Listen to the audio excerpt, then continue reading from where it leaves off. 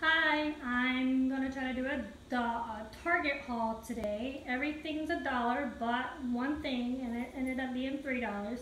I'm gonna try to do this video differently today to see how this works. So the first thing I'm gonna show you, um, it says ages four plus. It's 36 flashcards, animals of the world.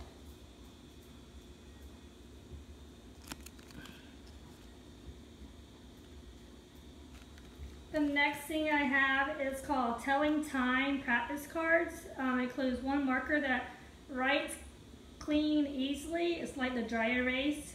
And I like this because it has the little pouch and the marker.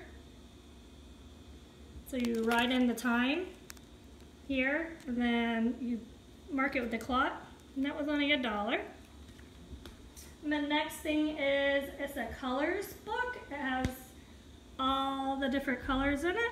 And this is really tiny and I like it because it can go in a busy box or a restaurant um, bag. And this is how it's set up. Is it tells you what the colors of the different things are. So I thought that was kind of neat. I also have shapes. And it's the same way. I'll show you just a few, a little bit of it. Sorry, try to put some sun on it pink.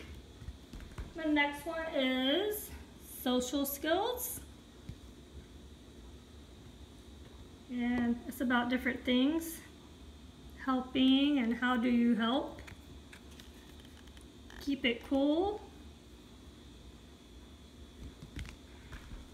The next I kind of got for me, because I thought it was neat, and then he'll grow up and I'll still read it to him now. It's called World Landmarks. It has Niagara Falls. It has all you all different kind of places, and this to read. And it was a dollar. The next thing I got is beginning sales include reward stickers. It's for pre-K, and I thought this would be really cute and fun. Um, it comes with a few stickers in it.